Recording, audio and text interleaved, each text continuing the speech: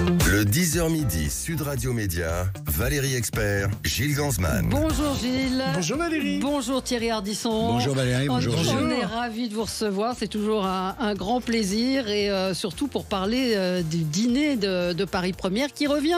Oui, vous alors vous la êtes remis chaîne. à table. Ouais, c'est ça, j'ai remis le couvert. La chaîne m'a demandé de faire un, un dîner. Donc ils me disent, mais si ça t'emmerde, on peut faire ça dans une boîte de nuit. Je dis non, non, on va faire ça chez moi. Donc je me suis retrouvé de nouveau avec une équipe de 30 personnes chez moi. Je déteste qu'on vienne chez moi. J'ai un- Ouais. Les gens se déchaussent à l'entrée d'habitude. Et donc là, je me suis retrouvé avec 30 personnes chez moi. On a fait le dîner.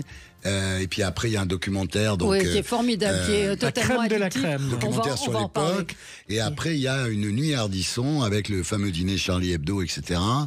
Et donc voilà, on a remis le couvert. Euh, J'ai attaqué tout le monde au rhum, comme ça j'étais sûr que ça se passerait bien. Parce que si tu leur donnes du champagne ou du vin rouge, ça met du Ça- temps ça avant qu'ils soient bourrés. ouais. Alors que là, quand tu donnes du Le rhum, c'est assez parce que immédiat. le, le- le chef est colombien, et il avait un rhum colombien. Ah. Et là, tu, es- tu, bois, tu bois un coup de rhum à 8 heures du soir, t'es sans filtre pour le restant de la soirée, hein, c'est pas de Et- problème. et ça c'est a fonctionné. Ça a fonctionné. C'est voilà. ce soir en clair sur Paris Première, le numéro de la chaîne. J'ai vu que vous disiez Alors le numéro de la chaîne c'est. c'est 41, parce 41. qu'avant Paris Première c'était en Ouais. position 5, Ouais. c'est 41. Mais ce qu'il faut dire aux gens c'est qu'ils bon, ils vont jusqu'à 41 Ouais. et après c'est en clair, exceptionnellement en clair. 21h, donc euh, nous on l'a pas vu parce que c'était pas fini de monter. C'est 214 rue de Rivoli, c'est votre, euh, c'est votre, euh, votre nouvelle adresse. adresse, c'est ma, mon adresse Mais- depuis depuis euh, ben, presque 20 ans d'ailleurs. Oui. Ouais, et vous racontez d'ailleurs que euh, sur, sur 93 Faubourg, euh, votre appart, il était blanc en fait, et c'est Serrato qu'on connaît bien, oui, qui alors est un, Serrato, un qui, est grand un, décorateur. oui, qui est un excellent Ouais. décorateur, Serrato est arrivé là-dedans, il m'a dit Je vais faire l'émission, je vais faire le décor que les jeunes croient que tu as. alors j'ai dit C'est quoi Alors il a tout peint en rouge couleur Rothman, parce que je suis venu des Rothman. Il a mis des Saintes Vierges. Parce que je suis assez Saint-Sulpicien. Ouais. Et il a mis des Beatles, évidemment, parce qu'il sait que j'adore les Ouais. Beatles. Mais en fait, c'était pas du tout mon appartement. Et je recevais jamais personne. Ouais. Moi, Vous dites que vous détestez en fait faire des dîners. faire des vous n'avez pas de cu- enfin si vous avez une cuisine mais qui n'a jamais servi. Non, même pas. je fais même pas des eaux plats, quoi. Je veux dire. En fait, j'utilise mon appartement un peu comme une suite d'hôtels, quoi, Ouais. où je vis, mais c'est tout. Je bouffe au restaurant matin et soir. Et donc là, quand j'ai fait ce dîner à l'époque, donc pendant ça a duré 4 ans, on en a fait 104. Et les gens se disaient, putain, chez Ardisson, c'est super, quoi, c'est la fête tous les soirs et tout. En fait, pas du tout. voilà. Et là, c'est personne. Et là ils ont refait la déco ou pas? Ah non, on n'a pas refait la déco parce que comme c'était pour one shot. Ouais. Et puis en plus, la déco est mieux là. C'est Ah, pas, c'est mieux. pas juste un des peu murs plus, c'était un petit peu plus, chargé, un peu plus même, ouais, chargé. ouais. On va passer au zapping tout de suite. Sud Radio Média, l'instant zapping. Alors c'est un zapping sur mesure hein, pour Thierry Ardisson. Oui, oui, non, il y a, il y a- il y a de l'actu et il y a sur mesure. Mais pour démarrer, direction euh, Israël avec ce reportage étonnant, Valérie d'Agnès Varamian aux 20h de France 2. Elle explique comment Zahal s'est entouré d'un- d'une unité et d'un service juridique pour chaque action qu'ils font. Derrière chaque décision de tirer, d'appeler des civils à évacuer ou d'entrer dans un hôpital, il y a les lois de la guerre et des juristes pour conseiller l'armée. À Tel Aviv, ces juristes travaillent dans cet immeuble, siège de l'état-major israélien. Impossible d'y entrer. Pour comprendre leur rôle, nous rencontrons une ancienne de cette unité. Oui, je peux expliquer notre travail. Le rôle des juristes n'est pas de valider chaque action sur le terrain, mais par exemple, d'écrire ces tracts lâchés au-dessus de Gaza pour demander aux civils d'évacuer. Le droit de la guerre impose qu'ils ne soient pas menaçants. La formulation peut être très ténue entre une menace et un avertissement. Et donc, nous, les juristes, nous sommes là pour aider à écrire le texte le plus juste. C'est incroyable. Hein et il y a un cabinet d'avocats qui suit également le traitement des prisonniers pour, après la guerre, si jamais ils sont attaqués, ils préparent déjà euh, les dossiers. Le reportage est C'est juste... fou. La guerre maintenant, elle est filmée, Ouais, elle est exactement. suivie, Il y a des avocats. il y a- enfin, c'est le Truman Show, quoi. Ouais, le, le- le reportage est assez hallucinant. Allez le voir en replay sur le 20h de France 2. Bon avant-hier, touche pas à mon poste, Ouais. a fait haro sur Thierry Ardisson. Oui. 30 minutes, 30 minutes d'antenne pour répondre à une réflexion que vous avez fait sur Moundir chez nos confrères de France Inter. Bah, ce fut assez violent. Non, mais Thierry, tu sais, euh, Pascal Pro a beaucoup plus de liberté euh, que toi. Et euh, je te le dis, il fait des émissions beaucoup plus subversives que toi. Je suis désolé, excuse-moi qu'on l'aime ou pas. Euh, excuse-moi de te dire ça, hein, euh, euh, Thierry. Thierry, toi, je, je sais pas où t'as. À part, euh, dans- toi, toi, t'étais subversif dans le truc. C'est quoi C'est dans le passé parce que t'as dit, est-ce que succès s'est trompé? Mais t'as jamais fait un truc euh, politique ou une idéologie que t'as essayé de porter ou où t'as donné ton avis sur quelque chose. Tu te planquais derrière tes invités et tu as piégé de nombreux invités d'ailleurs euh, par tes montages euh, fallacieux euh, derrière a que tu faisais et tu mettais à chaque fois tes invités ils disaient que tu les mettais dans une sauce euh, terrible.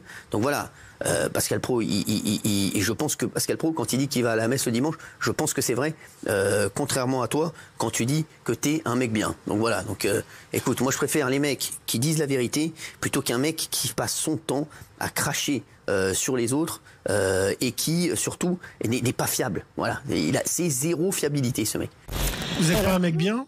Non, mais c'est génial d'entendre quelqu'un qui passe son temps à cracher sur tout le monde tous les soirs, reprocher ça à d'autres gens. C'est vraiment la charité qui se fout de, qui se fout de l'hôpital. Moi, si vous voulez, bon, je vais pas repasser la nuit là-dessus, mais c'est vrai que moi j'ai fait, je crois, à peu près une vingtaine de- d'émissions qui, qui sont reconnues, voilà. Lui, il met quatre personnes autour d'une table, il leur dit ce qu'il faut dire, et il croit qu'il fait de la télé. Je dis, il fait rien du tout. Il est, enfin, c'est, c'est, c'est nul et non avenu. Ça vous a blessé quand même cette attaque? Non, ce qui me blesse, parce qu'il me il y a rien qui me blesse, mais quand, quand il dit que je suis comme ça, je suis aigri Aigri, parce que il dit pas que de vous êtes boulot. aigri et que vous voulez du pognon. Je, je, je, du pognon, j'en ai. Euh, des émissions, j'en fais. La preuve, il y en a encore une ce soir. Euh, j'ai vendu Hôtel du Temps dans le monde entier euh, à travers Warner Brothers. Vous avez eu cité Awards. Et à la rentrée de janvier, je produis Hugo Clément dans une nouvelle émission de société sur France 2. Donc je suis tout sauf au chômage. Il n'est même pas informé. Et pourquoi, vous- comment vous expliquez qu'ils réagissent comme ça et, Il réagit euh, comme ça parce qu'il il est tellement imbu de lui-même. C'est un garçon qui était gentil au départ. Hein. Quand il était sur France 4, tout ça, il était sympa. Et puis là, il est imbu de lui-même parce qu'il a la, il a la confiance et le soutien de Vincent Bolloré, ce qui est assez incroyable d'ailleurs.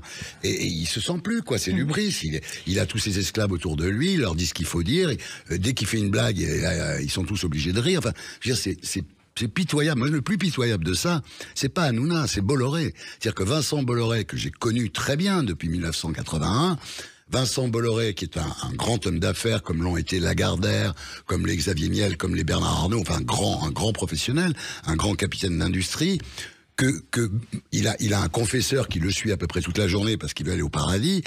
Euh, il est très catho.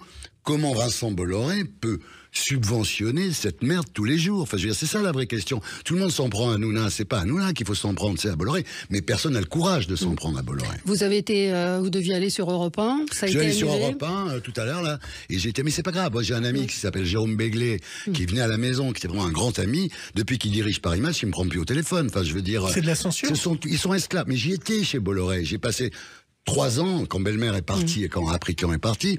J'étais chez Bolloré avec Bolloré comme patron. C'était toutes les semaines. Faut inviter Maud Fontenoy. Faut pas passer ce sujet parce que on est en train de signer avec Bein. Euh, il faut pas, il faut pas vexer le Qatar. Euh, Enfin. Ces gens-là sont esclavagisés par Bolloré. Simple, c'est des collaborateurs. des Comme en accusations 42, il y avait des vous portez. collaborateurs. C'est Hein des accusations graves que vous portez. ben non, c'est pas des Euh, accusations graves. Maud Fontenoy, on m'a, demandé d'inviter Maud Fontenoy 50 fois. On m'a demandé de couper un sujet sur le Qatar. Et le jour où j'ai dit, on discutait avec un, un cadre, un haut cadre de chez Bolloré et de chez CNews, ou, enfin, cadre Canal. Et je dis, euh, euh, euh, j'ai coupé le mec. Bah, heureusement que tu l'as coupé, mon garçon. Sinon, il aurait fallu que tu fasses attention en traversant la rue. Ah. Voilà le genre de remarques qu'on entend là-bas. Donc, si vous voulez, moi, c'est la mafia. J'ai rien à voir avec eux. Je les emmerde. Voilà. Bon, bon, moi c'est clair, vous étiez trop cher? Oui, oui, j'étais cher. J'étais, c'était 10 millions par an pour deux émissions par semaine. Ils m'en ont proposé 5. Et moi, j'ai dit, si je peux vous faire la même chose pour 5 millions, c'est que je vous volais 5 millions avant. Mais, mais Hanouna dit, euh, moi, euh, mon émission, elle coûte beaucoup moins cher. mais oui, elle euh, coûte moins cher, c'est sûr. Et mes quatre personnes autour d'une mais table. vous, et- vous en aviez quatre aussi autour oui, d'une oui, mais table. moi, nous, nous, en plein Il y avait des reportages, hein, non, il y a un argument, de toute façon, qui n'est pas là. L'argument, c'est moi, quand je vais acheter un, un porte-carte chez Hermès, je le paye 450 euros. En fait, en, en cuir, il y en a pour 40 euros. Je le paye 450 euros parce que c'est Hermès. Et Ardisson, c'est une marque. Donc ça se paye, c'est tout. Voilà. Vous avez un yacht? Non, j'ai pas d'yacht, mais j'ai de quoi vivre. Je, suis- je, je dis, parce que Hanouna a l'air de Oui. se soucier euh, Oui. de mon avenir Non, financier. c'était par rapport au complément vivre, J'ai de d'enquête. quoi vivre euh, encore très longtemps, tout va bien. Vous l'aviez regardé, le complément d'enquête Oui, je l'ai regardé. J'étais un peu déçu parce que il y a des sujets qui n'ont pas été abordés. euh, Peut-être parce que le juridique de France 2 a interdit que ça Oui. soit abordé. Et en fait, les gens du métier savent qu'il y a beaucoup d'autres choses. C'est la nouvelle lubie des féministes Valérie et Thierry, faire changer le nom de la future station de métro au Lila. Elle devait s'appeler la station Serge Gainsbourg. Eh ben, ça plaît pas.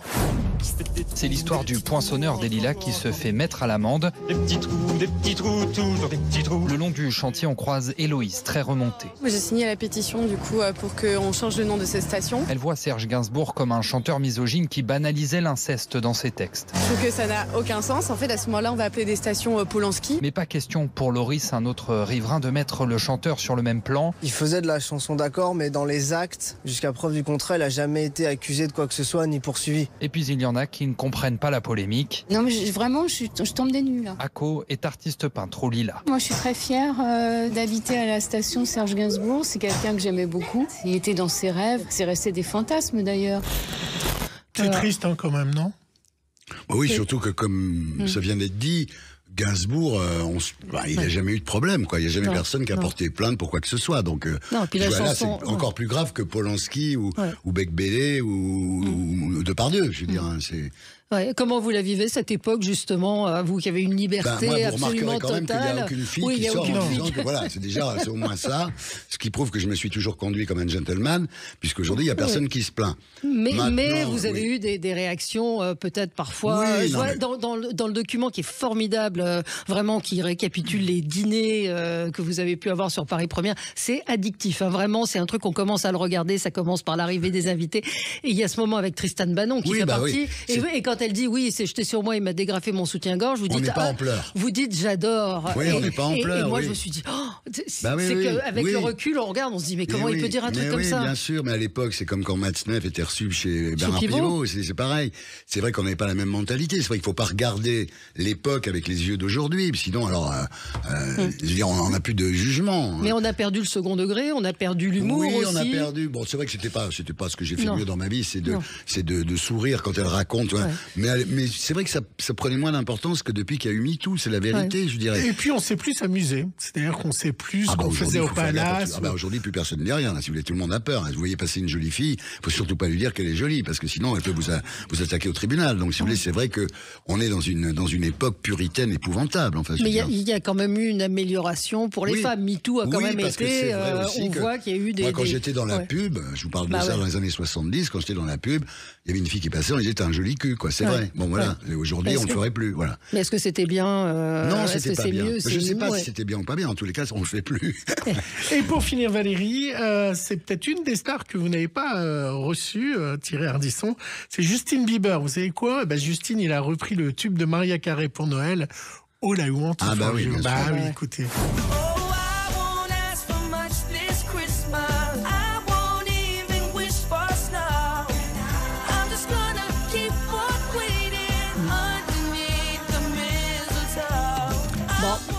Ouais, bof. oui. De Justine Ouais, Bieber. ouais. mais Il y, a une version par, euh, il y a une version par Freddie Mercury faite à l'intelligence artificielle sur YouTube. Ah, faudrait que j'aille l'écouter. je suis écoutez-le, très c'est- lié à c'est- moi. C'est très rigolo. Allez, on se retrouve dans un instant avec Thierry Ardisson. On va parler de- du dîner de ce soir sur Paris Première. Le retour du dîner qui n'est plus au 93 Faubourg Saint-Honoré, mais au 214 rue de Rivoli. À tout de suite. Sud Radio Média, l'invité du jour. L'invité du jour, Thierry Ardisson, est avec nous ce soir en clair sur Paris Première, 214 rue de Rivoli. Le retour du dîner. Il y en aura d'autres? Écoutez, peut-être. Moi, personnellement, si je refais euh, de la télé, ça, ce genre de format me plairait. Vous plaît bien. Voilà. Euh, on va parler des invités parce que Amel Bent et Amir, non? Ah non, justement, c'est pour ça. Si je refais, je refais un par mois et, pas un par semaine parce qu'il n'y a plus le casting aujourd'hui pour en le faire un par semaine. Il y aura un documentaire, la crème de la crème du 93 Faubourg Saint-Honoré. Moi, j'ai adoré, j'ai dévoré, j'ai regardé ça. Ça rappelle des souvenirs, c'est émouvant. C'est vous avez des gens qui sont. C'était votre mari qui, Ouais, qui a été à l'origine de ce dîner, il faut quand même le dire, Jacques Expert, parce qu'encore faut-il le dire. oui. C'est vrai, il y avait des, il y avait des gens qui osaient des, des choses un Voilà, peu il a, différentes. il a osé, il, a, Voilà. nous a Alors, confiance. mercredi 3 janvier, ce sera Hôtel du Temps avec Jean Gabin à 21h45. Et puis la chaîne Arditube qu'on va retrouver euh, sur euh, l'INA, euh, sur l'INA, Hardy Vision, sur Molotov TV. Alors oui, il y a Hardy Tube. Bon, ça c'est mes, des Oui, extraits vous étiez de venu tout- nous en parler, Voilà, qui était on a incroyable. 525 000 abonnés aujourd'hui, ce qui marche très bien. Et on a lancé une chaîne qui s'appelle Hardy Vision. Mm. Donc là, c'est pas des extraits, c'est des émissions entières. C'est que des émissions de moi. C'est une chaîne qui m'est entièrement consacrée dans le genre de mégalomanie. Pour un mec Là, qui a rien fait, Là, il y aurait des est- raisons voilà. d'être mégalomane Voilà. pour un mec. Ouais. Et, et disons, ce qui est, ce qui est drôle, c'est que les émissions sont diffusées à l'horaire où elles étaient diffusées. Ouais. Donc c'est, on commence avec des jeux, après il y a Rive droite, Rive gauche, encore une émission de Paris Première, Mm. puis après il y a tout le monde en parle, il y a le dîner, il y a Paris Dernière. Enfin c'est, ça s'échelonne comme ça sur une, sur une journée, quoi. Voilà. Ouais, pour un mec qui a rien fait. Pour un mec c'est- qui a rien fait, oui. C'est c'est pas, c'est pas mal quand même. Et puis il y a la nuit Ardisson, donc euh, avec euh, la rediffusion de plusieurs dîners. De C'était- quatre dîners, C'était ouais. des dîners à thème. Il y a Charlie Hebdo, il y Oui. a, Il y a Bah, il y a Charlie Voyou, Hebdo, il y a, je pense qu'il y a Tapi, parce que c'est une grande Il y a émission. Tapi, il y a Flic et Voyou, il y a Michel Drucker et, Ouais. et compagnie, et euh, une émission avec Stéphane Bern aussi. Ouais, voilà. Mais, mais c'était, ah, franchement, quand on regarde ces dîners, c'était quelque chose d'assez il y a un truc, d'assez et magique. On hein. l'a revécu Ouais, là, quand ouais. on a fait 214 rue de Rivoli. Il y a un truc, je suis obligé de reconnaître qu'il y a des, il y a, il y a que dans cette émission que les gens disent des trucs comme ça. Des trucs incroyables, hein. Incroyables. Ils sont d'une, je sais pas, d'une impudeur presque. Mais ça a marché encore cette fois-ci, c'est oui, la ça a question. marché tout de suite, Il y, a une que- grande, y a une grande différence, c'est qu'il y a votre femme avec vous. Il y a ma Crespo femme, oui, Marin. ça c'est un truc qu'on faisait pas à l'époque, Voilà. c'est qu'on n'avait pas de couple, et ça je trouve c'est pas mal de mettre des couples. Donc il y a Audrey et moi, il y a Muriel avec Anne Lenaine, j'ai pas pu avoir le couple Chameroy, euh, malheure- malheureusement, Euh, mais les couples ça marche bien. Et non, mais ça commence avec euh, Darmon dans la cuisine qui m'explique qu'il dort avec un masque sur le nez, enfin c'est des trucs qu'on raconte pas en général. Non. Il y a un moment incroyable dans le, dans le document qui suit, c'est cette séquence dans la cuisine avec euh, François Berléand et Guillaume Canet. Oui. Vous lui parlez du Cialis et Canet, a des yeux grands ouverts, il ne sait pas ce que c'est que le Bah Cialis oui, c'est à normal, à l'époque. son âge. C'était oui oui, mais même c'était le- l'équivalent du Viagra. Berléand- Et Berléand raconte que oui, il prend du il prend du Viagra. Oui, Berléand, quand il a découvert le Viagra, il en a parlé à tout le monde. Qu'il en avait parlé, dans tout le monde en parle aussi. Alors il avait découvert ça. Et alors ce soir, on va voir quoi? Il y a quoi comme, euh, Bah, Il y a, comme y a effectivement ça commence, Ouais. mais c'est un peu le Muppet Show, quoi. Les Ouais. deux vieux, on a le même âge, on parle de l'âge, on dit, ben, non, c'est terrible de savoir qu'il nous reste euh, finalement pas grand chose à vivre, quoi, qu'on avait fait le plus Ouais. gros, donc espèce de comme Ouais, ça. un peu nostalgique. Voilà, nostalgie, de la vie. Et puis après, il y a un tour de table sur les pères qui est absolument incroyable, donc où euh, Mar- Francis Gisbert, son père battait sa mère, Chameroy, son père était accro à l'héros, euh, Darmon, son père était voyou à Pigalle, Muriel, son père était pas son père, c'est un Arménien de passage. Donc après, il y a une espèce de... Et il y a Anne Le Naine qui raconte une anecdote personnelle qui met les poils. Mais comment vous expliquez qu'il se confie plus Parce que autour je d'un pense dîner que les gens assez rapidement oublient que c'est une émission de télévision. Parce qu'on est dans un dîner, en fait. Oui, c'est la seule explication que j'ai pas, parce qu'ils mangent, ils boivent, ils discutent, et ils oublient, les caméras sont planquées, pas complètement non plus, parce qu'on voit il y a quand même deux, trois caméras qu'on peut voir, hein. Et je sais pas pourquoi, mais j'ai eu beaucoup plus de, de confidence dans, dans, dans 93 et là dans 214 que ce que j'en ai eu euh, euh, Autour d'un plateau classique. sur un plateau de comme tout le monde en parle ou Salut les terriens. Mais il y a, il y, a, il y, a, euh, euh, il y a eu des essais de remake euh, qui n'ont pas marché. Il y a aussi la patardisson, le, le ton qui Bah, il fait faut que ça soit un vrai dîner parce que c'est à Et vous puis- par exemple il faut ouais. un dîner mais c'est pas un vrai dîner c'est une Mm. très bonne émission je critique pas Ouais. mais voyez c'est pas un vrai dîner vous mangez en même temps vous avez Babette Lemoine qui vous interviewe c'est pas un dîner quoi voilà. Là, c'est un vrai dîner. Arthur en avait fait un oui, aussi, il ça, avait je fait sur un studio, Arthur. Et donc les gens allaient bouffer à la plaine Saint-Denis sur un plateau, donc c'était pas un dîner. Ouais. Et puis le casting. Le puis, casting, qui est vachement important aussi. Là, on a beaucoup travaillé Ouais. sur le casting, on a pris du temps. On a vraiment pris du temps pour faire cette émission. Avec Stéphane Simon, Avec qui, est, Stéphane qui est Simon, producteur de absolument, qui était l'émission. le producteur à l'époque Ouais. et que j'ai retrouvé pour cette émission. Et on a pris du temps pour le casting, pour bien tout. Il y a Douli qui est là. Alors il y a Ouais. des gens. Ah, je Ce qui est l'adore. bien, c'est qu'il y a des gens que je connais évidemment comme Muriel ou Darmon. Il y a des gens que je connais pas comme Douli, c'est intéressant. Elle est incroyable. Il y a Bafi qui vient après son spectacle. Il y a Corti qui arrive évidemment avec les Gypsy Kings. Ça c'est un peu, c'est un peu obligatoire. Et donc voilà, il y a une espèce d'ambiance Oui, comme ça. Parce qu'on oublie qu'il y avait des moments de musique. euh, Toujours, ah, ça se terminait toujours par de la toujours musique. par de la musique. Bien sûr, bien Et sûr. euh, est-ce que vous vous souvenez euh, d'Ariel Dombal, qui était venu avec un, un guitariste euh, du Mexique et vous en avez profité pour chanter. Et c'est rare quand vous chantez. Ah oui, oui, oui, on a, on a, on a- Ah ouais, vous l'avez là Bésame, bésame mucho, Como si fuera esta noche la última vez. Ah, mais j'avais pas reconnu. Ah, bravo. Ah, j'avais pas reconnu. Ah, ouais, Eh c'est oui, pas mal. Non, je suis pas chanté, c'est terrible parce que j'aurais. Il y a des moments incroyables comme ça quand vous allez sur Bah, les il y a des moments, il y a, y a, euh, euh, il y avait, il y avait Lagerfeld, il y avait tout le monde est passé. quoi. Tout le monde est venu, c'est ça qui est- brésilien avec Pitangui, avec. enfin, je veux dire, il y a eu des moments, il y avait le dîner Palace, le dîner Charlie Hebdo qui est terrible parce que quand Ouais. on voyait ce dîner, euh, il y a deux personnes sur trois qui ont été sont évidemment mortes, par les ouais. djihadistes. Donc c'est Ouais. vrai qu'il y a, voilà, il y a des moments. Nadine de Rothschild, enfin, il y avait des mélanges euh, Et, pour- incroyables. et Valérie, pour nos auditeurs, j'ai retrouvé une archive, il était euh, tout jeune. Eh bien, euh, écoutez, vous savez qu'il euh, c'est une voix de Sud Radio euh, qu'on entend euh, souvent, c'est André Berkoff. Vous Ah avez oui, il André, oui. Et il est venu à l'émission de, de Tapis, ce qui- Tapis, ce qui ouais. vous avait Je dirais pas qu'il était tout jeune à l'époque quand même. Oui, voilà. Il était- plus jeune, disons. Plus jeune. Voilà. J'ai lu ton bouquin, là, euh, La lâcheté française, là, qui est vraiment euh, pas faux, virulent, bien écrit, avec des bonnes formules. Euh, comment tu peux supporter Tapi, qui est quand même exactement comme les gens que tu dénonces dans... dans, dans- Non, parce ce que d'abord, Tapi n'est pas un lâche, on peut tout dire de lui, ouais. sauf que ce soit une couille molle. Il l'est pas. Et puis, alors, on peut aimer ou ne pas aimer des choses, mais moi, j'aime bien les êtres de démesure. Mm. Tu sais que j'ai été nègre deux fois dans ma vie. Une fois pour Tapi, c'est tout, et une fois pour Sylvia Bourdon. Je sais pas si tu te rappelles de Mais Sylvia, Sylvia Bourdon, qui était une actrice du porno. À l'époque. Et qui a fait des films avec des chiens policiers. C'est-à-dire des films avec des chiens policiers. Il a fait, il a fait de la- il a fait des films zoophiles. Mais non. Ah oui. si. Ah, j'ai cru que c'était Et une, une blague. fois, je vais vous raconter une anecdote que j'ai jamais racontée, mais que vous l'aurez. Euh, un jour, je, je faisais les bains de minuit et je dis à Catherine Barma, à Marie-France Brière, je vais inviter Sylvia Bourdon. Très bien, invite Sylvia Bourdon.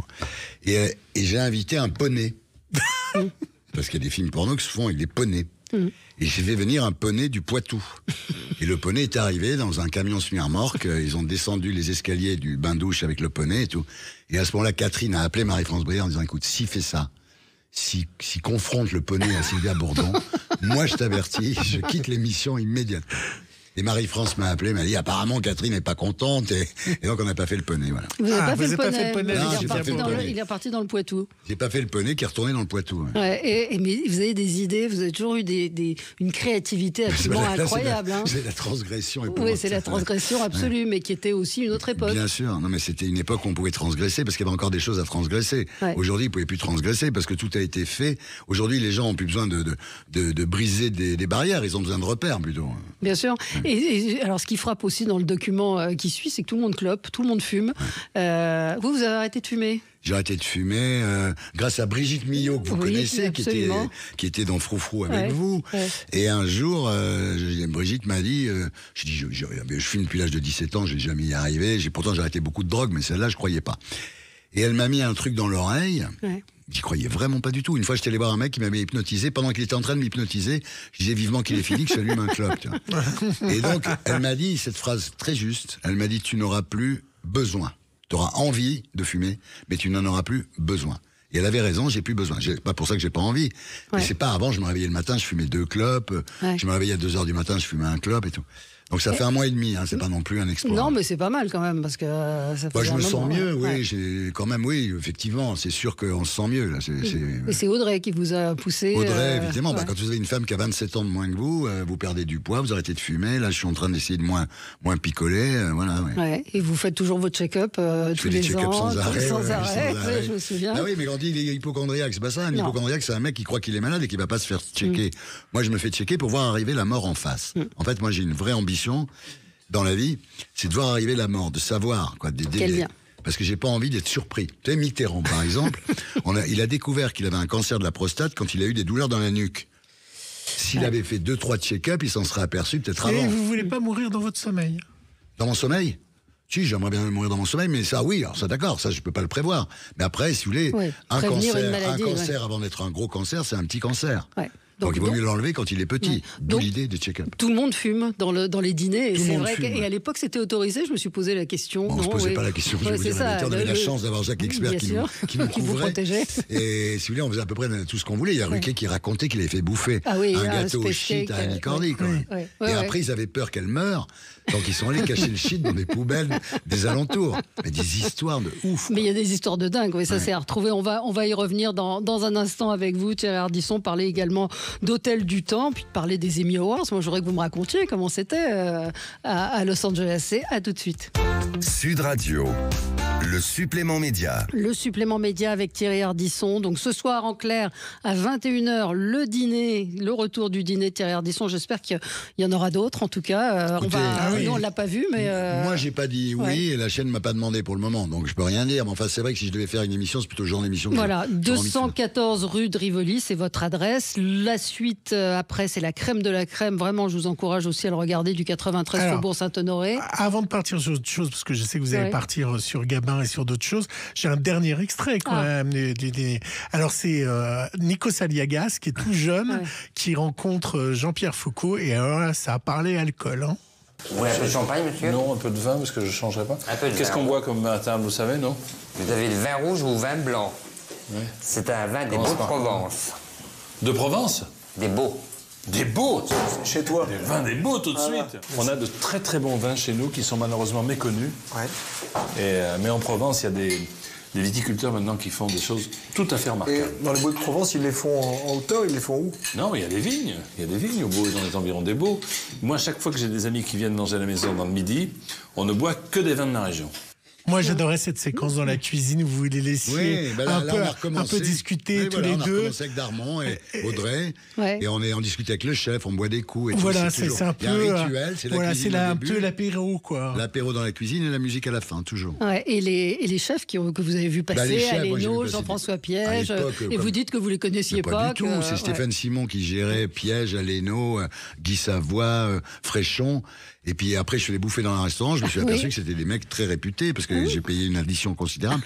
et là, c'est un jeune chef colombien qui s'appelle Juan Arbeles. Juan Arbeles, ouais, qui était très- le mec, je dis ça parce que comme ça tout le monde peut le situer, c'était le mec de Tillman. De Lo- Laurie Tillman. Laurie Tillman, absolument. Ouais, ouais. Donc effectivement, on part sur autre chose. Donc il y a la nuit Ardisson euh, derrière avec les dîners, euh, quatre dîners qui vont suivre. Et puis, et puis, bah vous pour un mec qui bosse pas aussi, euh, vous bossez pas mal en ce moment puisqu'on va vous retrouver sur France 3 avec Hôtel du Temps, Jean Gabin, 21h45. Ça a changé de, Bah, C'est-à-dire c'est une émission qui est, faut dire la vérité, trop Ouais. trop trop bavarde pour être en première partie de soirée et trop cher pour être en Ouais. deuxième partie. Bon là, comme ils ont arrêté l'émission, ils la diffusent en deuxième partie de soirée. Mm. Et c'est vrai que c'est plus une émission de deuxième partie de soirée, mais comme ça vaut cher, Ouais. la chaîne n'a pas le budget de mettre 600 000 euros en deuxième partie de soirée. Donc pour ça que je me suis pas immolé par le feu devant l'immeuble de France Télévisions quand ils l'ont arrêté, parce que je continue à travailler sur des sur l'intelligence artificielle évidemment, mais ce format-là Mm. pas adapté au prime time. Ouais, moi, je vous ai envoyé un mot le soir de Coluche parce que j'avais trouvé que c'était formidable. Euh, Il n'y avait pas les audiences. Je vous ai entendu parler des audiences euh, hier Ouais. avec euh, Léa, avant-hier avec Léa Salamé. C'est vrai que c'est dommage de juger une émission à l'aune des audiences. Ah bah c'est oui. la règle aujourd'hui. Bah oui. Mais le, le Hôtel du Temps de Coluche était formidable, Bah, ça fait pas vraiment. une audience épouvantable, ça fait un million deux, un million trois. Ouais. Oui, c'est Mais bien. Mais c'est ce qu'aurait fait un documentaire normal. Oui, bien si j'avais acheté des bouts de films de Coluche et Alina et je mettais Gérard Jugnot en train de dire c'est formidable. Mais c'est pas le même prix. C'est pas le même prix. Ça coûtait 200 000 ou 250 000 balles et Ouais. pour le même résultat en audience. Ouais. Après, effectivement, aujourd'hui, c'est- vous avez raison de le souligner, Ouais. euh, on ne juge plus les émissions qu'en fonction de l'audience. Alors les journalistes télé, ils se fatiguent pas, les mecs. Hein.